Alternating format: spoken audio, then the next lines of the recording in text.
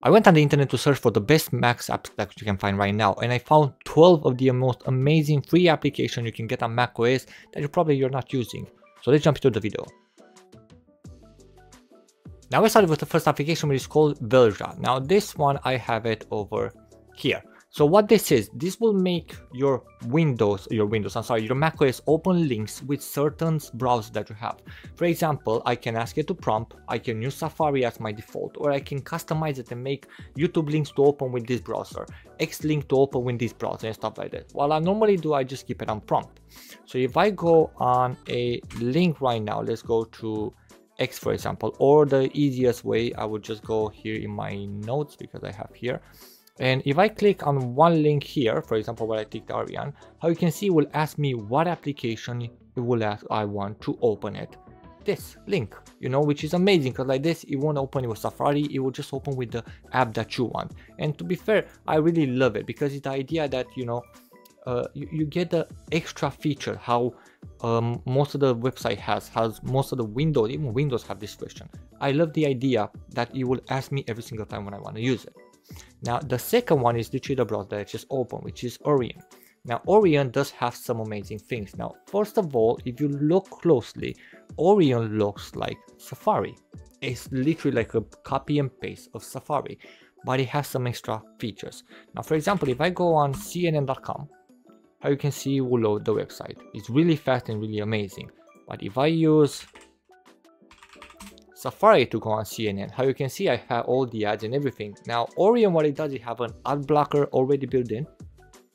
It will have an tracker blocker already built in so nobody can track you. There's no more ads and it has the ability to run if you want to run extensions from Chrome or if you want to run from Firefox. You can then install an extension from all the other browsers and you can just run it here. It's an amazing application and I have to admit makes the job easier you know you can read an article stuff like this no ads nothing. And in my opinion i think it's one of the best browsers that you can buy you can download sorry right now. It's free to use. You get the link in the description for all of them. So you know hope you will like it. Now the next one is called later. Now later it's a really good application.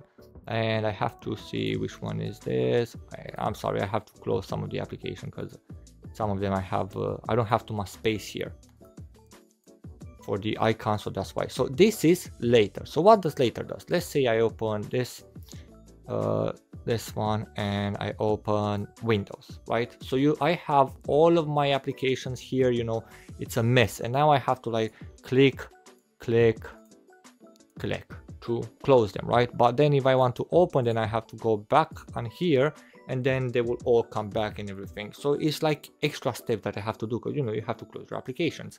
Now the best thing if I go to later, I just save this session and everything is gone. Allow. And everything is gone, now my desktop is clean. Now if I want to restore all of them, all I have to do is just restore the session.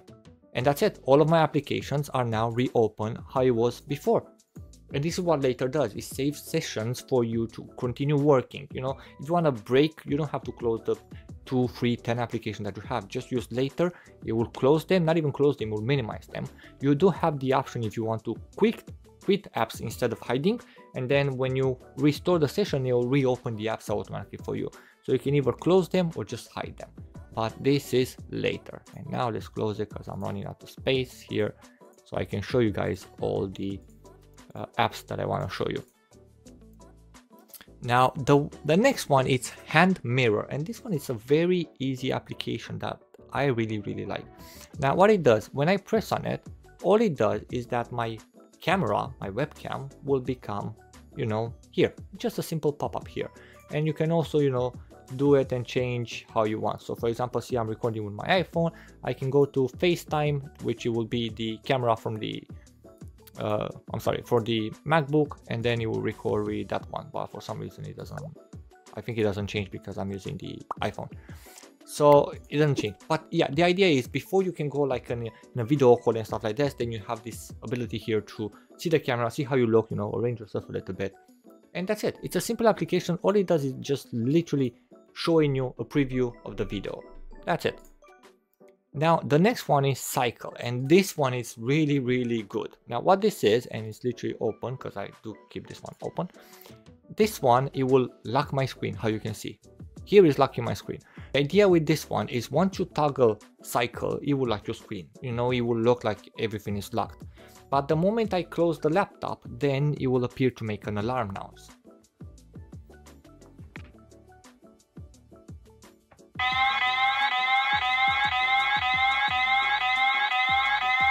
Just in case somebody is trying to steal your laptop and stuff like this, they won't be able to because their laptop will start running, well, yelling like an alarm. So it's a way of security in case you know you're at a cafe and you need to go to the toilet and you want to take your laptop with you, which is understandable. Then you can just leave it there, and if somebody is trying to steal your laptop, then the alarm will start going on, and then you know people will look around. So hopefully the guy will uh, back up. But it's an idea. You can also connect it to your mobile phone and you get also a notification on your mobile phone. I didn't, I just stayed with the normal if somebody closed the laptop and stuff like this or touched the laptop, then the alarm will go on.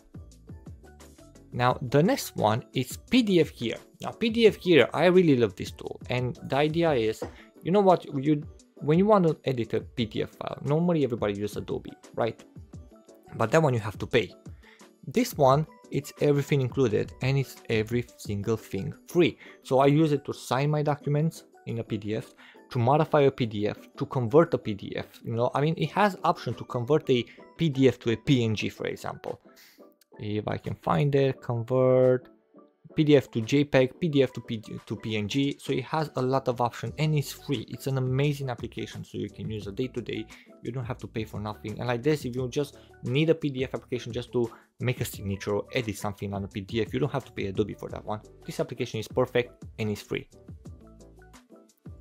Now, the next one is, I don't even know how to pronounce this one, so I'm not going to, to try it.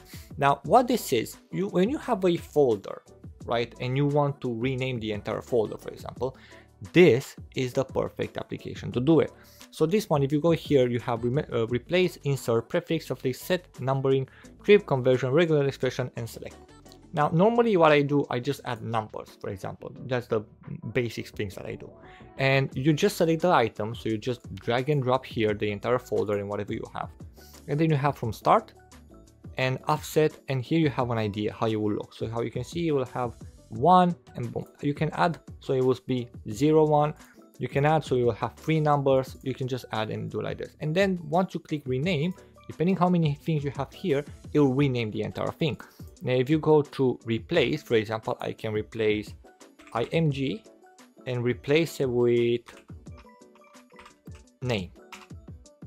Now my entire pictures, everything that I have here will be replaced with name. You know, you can literally put the entire title. So replace ing 0947 and then this one will replace it. With it but the idea is the number is kind of hard to replace because you know the, the, number of the picture then when you make a picture it will appear different numbers. So that one is not but you can give a name straight away or you can just add a conversion you can just add a number whatever you want. It will do every single thing in one go.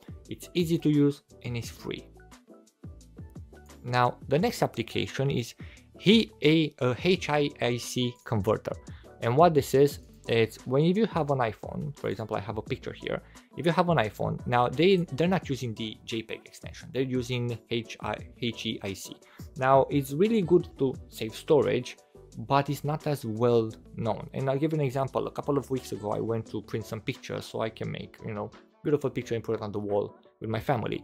And the computer well the company that i used their computer couldn't read heic so i had to convert every single thing and this is what this thing does. Literally, you just drag and drop multiple pictures if you have. I, I'm just using that one. And how you can see now I have a JPEG. Same quality, same everything, but it's a JPEG. Easy to use, drag and drop, you don't have to deal with it. Now the next one actually it's a even better application. So how you can see on both application, if I go to get info, you can see all the information was made with the iPhone. You can see my GPS location. You can see all of this information. And a lot of people don't know, but the moment you put this online, this information will be available. So you post on Facebook, you post on top, every single thing will be available for other people to see. Now, what this application does is removing these informations. So for example, all I have to do is just drag and drop. How you can see is doing everything. And that's it. It's telling me it's done. So now when I click on it and get info, for some reason it didn't. What is it? So why is that? Oh, probably is. Here you go. Yeah, probably that was a bug from macOS. It was still loading. So how you can see here, all the information are gone. I got the resolution and that's it. You know, RGB, boom, that's it. But I don't have any information. Not the phone that it was made or the camera is made, not my GPS location, nothing. And it's 10 times, you know, it's safer. It's, it's keeping your privacy safe. This is what it does. It's taking the information out of your pictures and you can put it online with no problems. And this is what it does. Now, the next one is boring notch. And I have to admit, I do really love this application. Now, in the past, I showed a lot of applications about the notch on the MacBooks and every single one was paid. This one is free of charge. So I'll give an example. Once I put my mouse here, if I wait a couple of seconds, how you can see I have a heart here because no music is playing and I have my calendar. But if I right click and the battery here, if I right click, I go to settings. Here you can change everything. So for example, my calendar here is green. I can change it to red. Now it's red.